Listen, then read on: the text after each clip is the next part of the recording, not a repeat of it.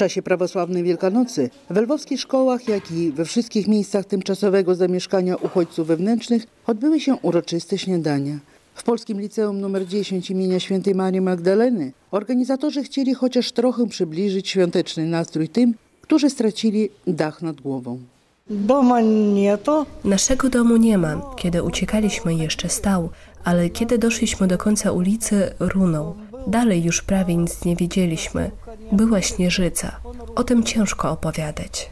Chrystus woskres!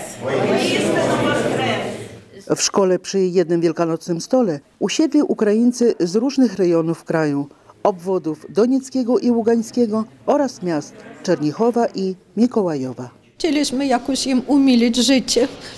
E, na stole tradycyjnie były jajka święcone, babeczki święcone, buraczki, wędlinka. Wszystko to zostało zorganizowane siłą dyrekcji i siłą rodziców Komitetu Rodzicielskiego.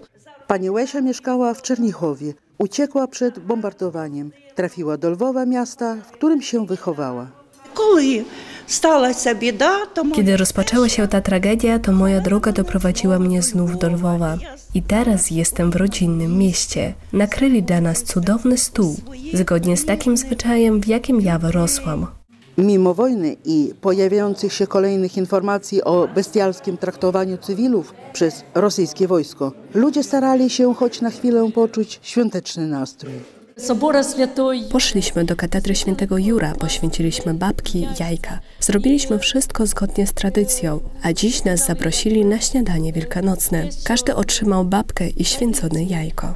Nasi wszyscy rodziny teraz gdzieś i chociaż nasze rodziny teraz są w innym miejscu, ten duch świąteczny nas połączył na tyle, że czujemy się teraz jak spokrewnieni, jak jedna rodzina. Od początku rosyjskiej agresji na Ukrainę obwód lwowski przyjął największą liczbę uchodźców wewnętrznych. W 700-tysięcznym Lwowie obecnie przybywa ponad 300 tysięcy osób, które uciekły ze swoich domów z innych regionów kraju.